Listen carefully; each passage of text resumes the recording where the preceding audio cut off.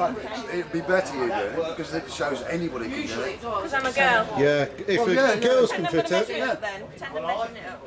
Well, that's obviously big, split amount. Because if you do, if you do, all most of the hot water will go in and then just go back into the boat. But so you just need just a little, just a tiny amount. In fact, you could do it just by opening that valve. Because you, when you, normally when you are getting rid the with a hose there, you're getting rid of a little bit there all the time. Uh, we might need Can I give you a sec? Yeah.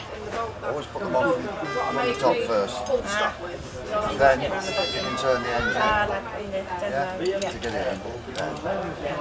Okay, and then it's just a matter of adjusting it up. Don't stop you doing. No, I don't think it'll melt. But it might soften and start to leak around the jubilee. I need another spanner, but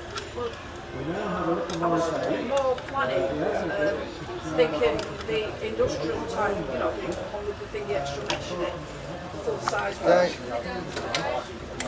But, and then I was going to just open it a little bit, not full.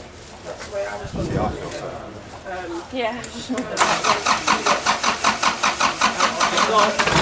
just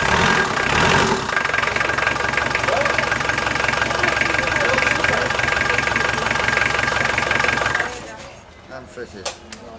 done. Done.